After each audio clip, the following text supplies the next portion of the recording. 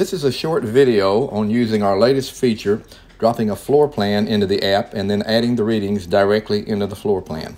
The first thing you will do is tap the mapping. Then it will give you some options. You can choose the particular image that you want to drop in.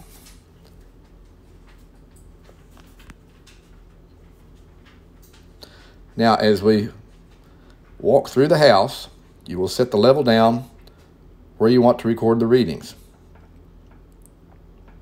First wall here, we record our first reading. We'll start here with a reading of zero. Then we'll walk to our second wall.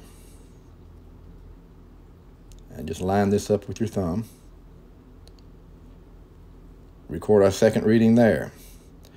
We continue through the house. Simply dropping these readings in as we go.